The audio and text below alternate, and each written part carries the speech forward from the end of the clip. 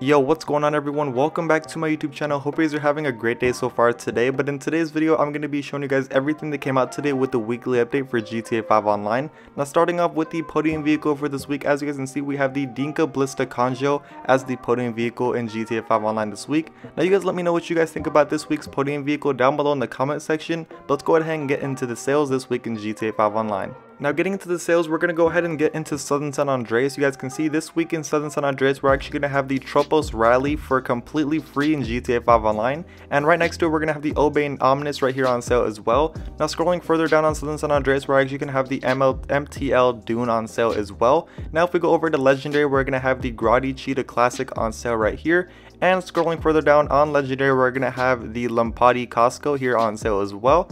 Now if we head over to Warstock, we're going to have the Winky on sale, as you guys can see right here, $500,000. And if you guys scroll further down, we're actually going to have the Insurgent Pickup Custom as well on sale too. And further down, we have the Insurgent on sale as well, just the regular one.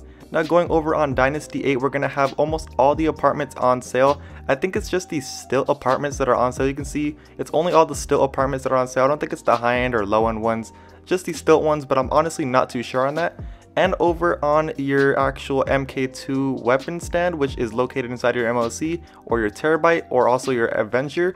All the Mark II weapons are actually going to be on 50% off right now and they're actually going to be on sale.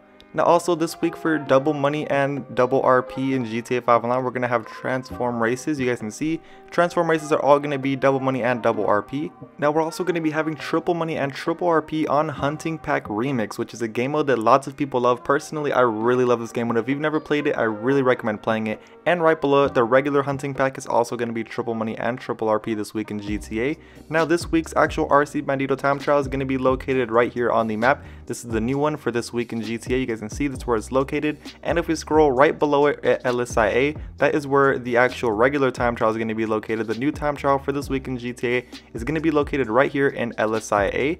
And also the last thing for this week's weekly update in GTA 5 Online is actually going to be your login unlock. So if you guys go to your actual closet and you guys go to your outfits, go to Stuntman suits, you guys will have all these Jock Cranley suits all unlocked for completely free. Everybody will have it as long as you log into GTA 5 Online.